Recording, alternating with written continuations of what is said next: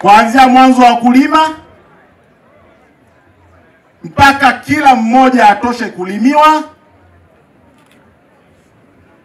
ndio trekta itaondoka hapa na msimu ujao itakuwepo pia.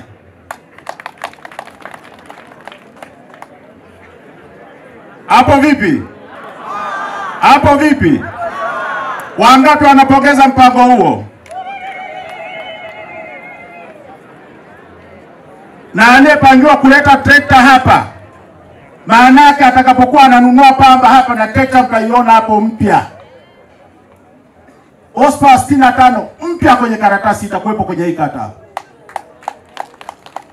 na sio kata. Kata hii itakuwa na trekta tano kwa mnunuzi atakayekuwa amepangiwa hii kata. Wa mahindi atalimiwa, wa pamba atalimiwa, wa alizeti atalimiwa. Kwa hiyo tuombe sana.